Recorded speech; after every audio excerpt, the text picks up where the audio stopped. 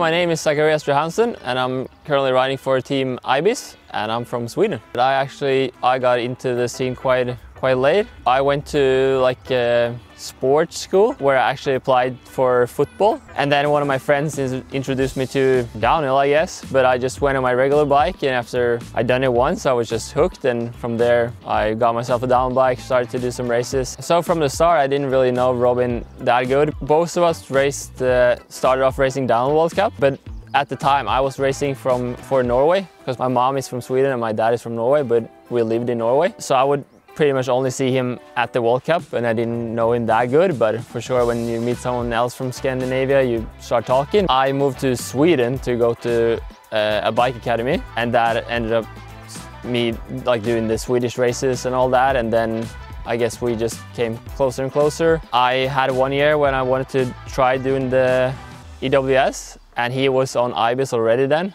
and that year I pretty much just like borrowed their pit and like snuck in and went into their tent because I didn't have much support at the time. I wanted to, to change from downhill over to enduro and I decided to do uh, one year when I did the EWS races in Europe and at the time there was like a European series as well. I figured out that if I skipped all the, the long traveling I could do the European races on the EWS and do the whole, like the full European series. Uh, so that was my plan and I did decent at the uh, EWS races and uh, learned a lot, which was the plan. And then I ended up uh, winning the European series. And the year after that, I, that's when I got in contact with um, Ibis for the first time. That was everything I dreamt of and worked of for that long. I mean, traveling the world, riding your bikes and riding all these cool locations that I've seen in movies and also getting the opportunity to race the, the fastest boys in the world was pretty cool as well.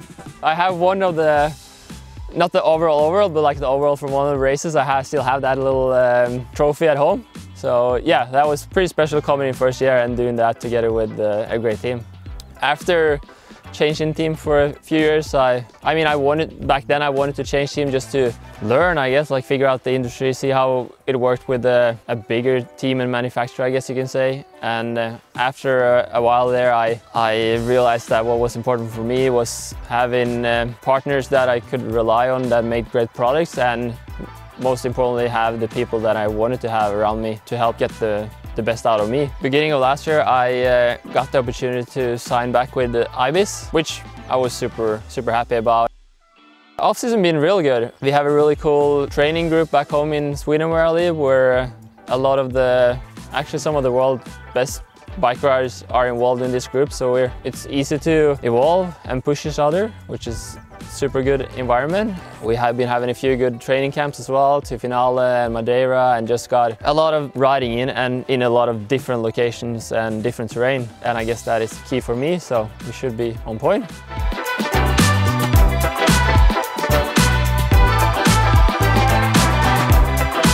So the last couple of years I've been pretty consistent uh, overall and um, why that is is hard to answer but I think I'm pretty good at handling risk versus reward, I guess, on on the bike and like racing. That I, I know where I can push and I know where it's worth slowing down a little bit just to make sure you don't crash or like lose more time than you need to. And like I said, just have a comfortable bike and bike setup helps you know where that limit is. Changing team last year and being in a bit of a situation there before the, the season that like being without a ride for a few weeks I'm not sure if I could continue doing this. I mean that helps you bring back the fire I guess and motivation and after doing pretty decent last year, that fire is still there and I know that uh, I for sure want to get back on the podium again. So yeah, I followed the same recipe last we did last year together with my coach and made a few small difference just to try to level up. But yeah, pretty much just putting in the work all over again.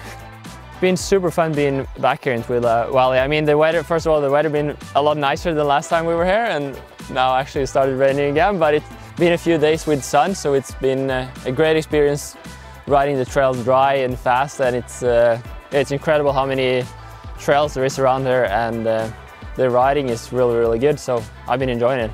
I mean, you definitely like all all other races, you need to push pretty hard, but the, I mean the the margin for error here is pretty small because the trails are pretty uh, tight and narrow, and uh, with the weather changing all the time as well, it's like pretty hard to hard conditions to race in, but uh, I'm looking forward to it.